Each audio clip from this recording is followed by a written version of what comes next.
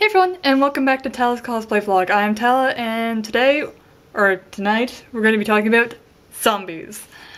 So, I'm a, quite a big fan of the Resident Evil video game series, and they've conditioned me greatly to shoot zombies and infected in the face. Or other places that they are weakened, because some of the infectees are... yeah, anyways. Anyways. I recently went to go see the newest Resident Evil movie, uh, Retribution, and it was kind of dumb. The animated movies are much better, I think, but I haven't seen the second one, so I can't give a review about that, but the first animated movie was quite good, so I'll put a link down to those two below for like the trailers, just so you guys can check them out um, if you haven't seen them.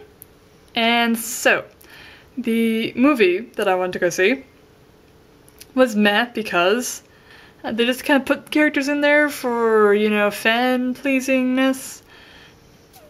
And, like, the actors themselves looked good, but they had very eh acting. And I've never really been a huge fan of Alice, like, I never understood why they didn't just make a Resident Evil game with the Resident Evil characters to begin with. But that's, like, I understand, it's a movie, it's going to do its own story thing, blah blah blah. But just never really been a huge fan of the live action movies. Um, and plus, I have a little bit of a, like, gamer rage for, in one of the scenes, spoilerishness coming up here, um, in one of the scenes, uh, Jill is in that like Resident Evil 5 costume with that thing on her chest that you have to rip out in the fifth game. And it takes forever to do that. And in the movie, it's super easy, and I think that's stupid.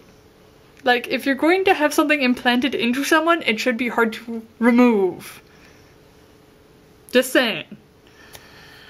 Okay, now that the Resident Evil movie rant is over, let's talk about zombie costumes, since Halloween's coming up and there's going to be a zombie walk in my hometown next Saturday. I might bring you guys along, or I might not, because I uh, don't really like to bring electronics with me because it just ruins the zombie effect. And I generally put makeup on my hands to keep with you know, the dead skin thing and fake blood and stuff. And I really don't want to get you guys dirty. Because I like this camera how it is. Clean. Um, so, just things to think about for your costumes. I've stated this in previous video, which I will link down below, my zombie walk video, and I believe it has my zombie costume um, at the end of the video. And um, it just kind of gives you ideas on things to think about for your zombie costume or zombie hunter costume. Um, so I don't really know what else I really need to say other than um, thank you all for subscribing to me. I'm sorry that I'm not really uploading a lot of videos. Um, but stick with me, I will be uploading videos once the craziness of my schooling is pretty much over with. Uh, so yeah, so uh, brain needs to work now. Um, if you are interested in some tips in the zombie nest thing, I just say think of what you'd be doing when the zombies happened. Like if you're at a soccer game and you're running around, you probably, you know, you get bitten on the soccer field, you're in your soccer gear, and you probably will have a cleat to the face because you're trying to bite a teammate and they stab you in the face, you know?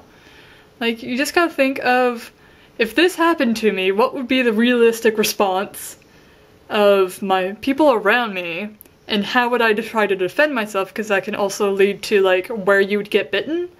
Like if you're defending like your front so much you didn't look behind you, you might get like more of a bite back here. Opposed to like you were driving a car and a zombie popped out from the back seat, like in all the random scary movies. Maybe not a zombie, but you know, the evil guy pops out of the back seat and bites you. Like, it could be like, you're driving like this and he bites you on your arm and then you, oops, a daisy. And then you like crash into a telephone pole and it catches on fire and glass explodes and see if glass shards and burnt flesh and zombie flesh and horrible gross things. I like Halloween. um, if you are going to a zombie walk or any sort of thing like that, you have to make sure that cops know that any sort of prop you might bring is a prop and not to get in trouble. Also, that being said, don't be a douche and like put fake blood all over like the store windows and cars and stuff. That's not cool, and that's not what we're there. We're there just to be goofy and show our love for the undead, not in the creepy way, and have a good time. Show off our skills at special effects makeup or what have you. Um, I personally love doing special effects makeup. I be, I'm still quite a beginner. I'm kind of just teach myself things until I can be able to go to school for that. Um, so yeah, uh, links also down below. The zombie video I'm going to link to has links within that description of tutorials and stuff I found useful or interesting while making that zombie makeup. So we'll see what this year brings. I will at least have some pictures for you. Anyways, thanks to for listening to my crazy long ramble, and uh, see you guys later.